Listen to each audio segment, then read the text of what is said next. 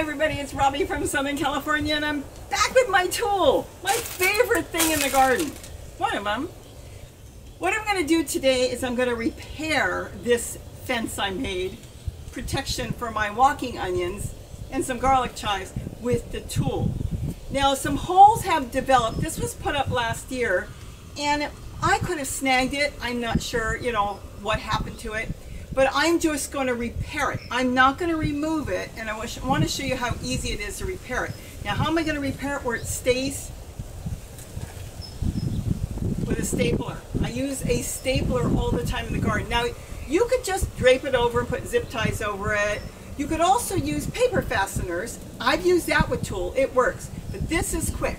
I will say that once you use a stapler on it, when you're done with the tulle at the end of the year or two years, however long it lasts, bundle it up and throw it in the trash. You don't want to have metal staples in your garden.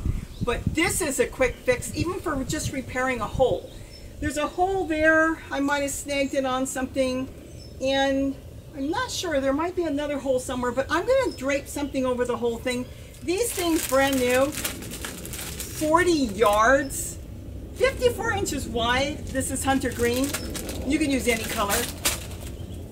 10 bucks. You can't, and if you buy more, the price goes down. I buy more, as you can see. I always buy more. And then all you all also need is to use a needle nose pliers. You can use any pliers and a scissors. This is all I'm going to need. The pliers is so when I staple it, I always want to make sure, because I'm working in the garden, that it's not sharp. What if the staple doesn't work really good? And so I use the needle nose pliers and I press it flat. And then this way, you could even rub on it. It's really nice and flat and you won't cut yourself. Now this is a regular paper stapler, no different than anything else. The only difference with it is this is a hand paper stapler. You can use any one, you can use a push one as long as you can push it any way you want, but well to be honest, I found this at the thrift store for like two bucks and I thought, I may use this someday, and I do. But see, it's just a plain old paper, paper stapler, you don't need anything fancy. Let me get this done and then we can take a look at it and that should give you ideas on how to repair some of your tulle that is not really ready for the garbage or ready for ne its next job, but ready, well, just ready for a little repair. A little loving, tender care. Let's get this done. Well, while you're watching this, instead of putting music, I figured I'll talk. Now, I could have removed the old, but you know what? The old is still good. It only had a few holes. So I figured if I just put tulle on top, you know, drape another layer. I couldn't find my black. I know I have black. I just, well, I went into the box and I found the green first. I thought, all right, so green and black mix really nice. So I figured I would just drape it on top. That would give a double protection in case it got torn again because there'll be tulle underneath as well. So why remove something that's still good and it's so cheap? So I figured I'll just drape it on top. Didn't have to do anything else but just unwind it and I really used almost nothing of that bolt. And I just draped it as you can see here.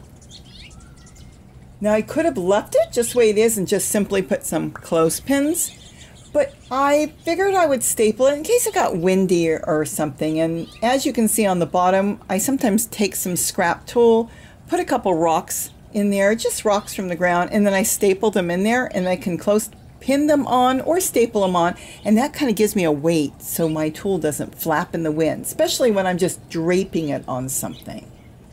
But that's how easy it is. It's like my favorite thing. There was a lot of different ways. I could have put paper fasteners but I figured I would just staple it together.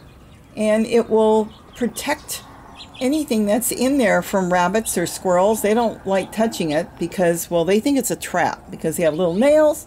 You know what? That's it I mean, look, I don't have to say anything else. I'm done. So let's go back and see what I had to say after I was done. And I'm telling you, I just did this and it looks really cool. I'm really happy with this. Can you see that? I'm done. This is unbelievable. I It took me minutes to do. Let me get the camera off the tripod. And let me tell you a few little things I did and then we're actually done.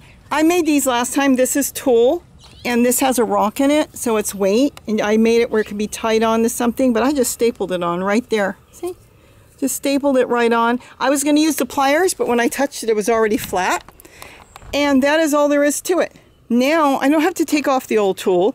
I can still lift it if I want to get to the walking onions or I'm going to plant some more. See? The rocks in the tulle, they hold it. And then behind it, you could do the same thing. You could lay some rocks or something here to hold it down.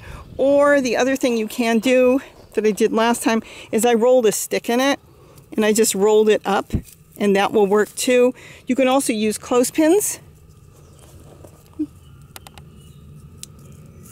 So that will work too. Whatever works for you, but I'm done. This job, which I could have taken the old tulle off, would literally take me about three minutes. So now they're protected. I can get some more baby walking onions in there. I don't have to worry about it. So I hope I gave you an idea on how to fix your tulle. And you could do the same thing if it's just a little hole. Just staple something on. And if you don't have a stapler, you know what? You can even patch it with a glue gun. Just and it glues really good. I've done it. Just run a circle around it if you had a hole here, let's say, and then patch it with a piece of tulle, and that works too. I've done it with screen doors when the dogs go through it. You guys have probably seen it all over the deck. So with that, have a wonderful, wonderful day. And don't forget to eat what you grow. And keep in mind, tulle is really easy to patch if you've covered an entire tote or even used it for a fence. Have a great day. Bye-bye.